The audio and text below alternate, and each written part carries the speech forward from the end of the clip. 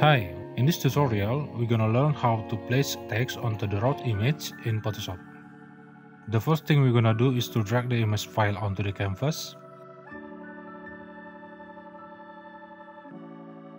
Before adding the text, I'm going to remove the street lines first, so I need to rasterize the image. Right click on the image layer and select rasterize layer. Then activate either the polygonal lasso tool or lasso tool block the first line, then go to edit, fill,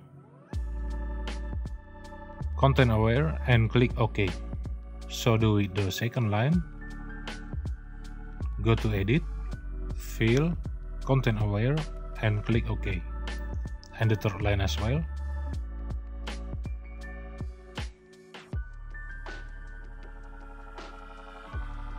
Press Ctrl D to remove the selection now activate the type tool. Here I use the impact regular font with size 550 points, sharp, and I give white for the color. Then type something on the canvas. Then press and hold the Ctrl key while clicking the text layer icon to make a selection over the text pixels.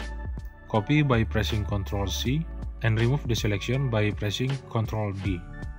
Now select the image layer and click this icon to add a new empty layer on the top of it. Deactivate the text layer. Make sure the empty layer is selected. Go to filter and select vanishing point. From here, we're gonna make an area with a perspective that follows the road's vanishing point.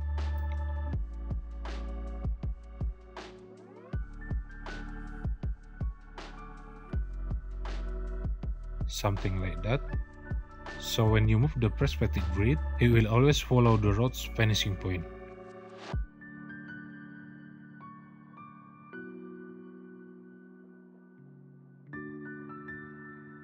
Then paste the text by pressing Ctrl V and drag it onto the area. Adjust the position and scale it down if you need to.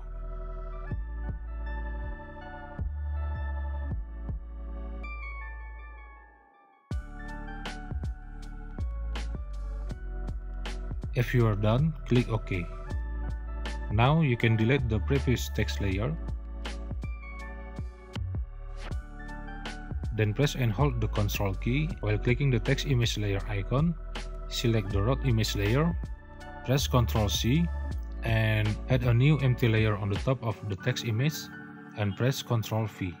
Change the blend mode to hard light this way means that if your road image is exposed to the shadows of any objects on its surface, they will also be visible on the text surface that makes the text image more realistic.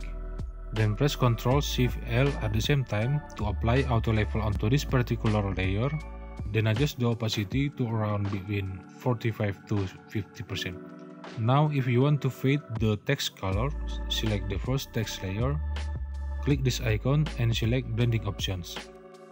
Press and hold the Alt key and split the shadows gauge of the underlying layer to bring up the road's color a bit. And split the highlights gauge as well. Then click OK. And here we go. That's all for this tutorial and thanks for watching this video.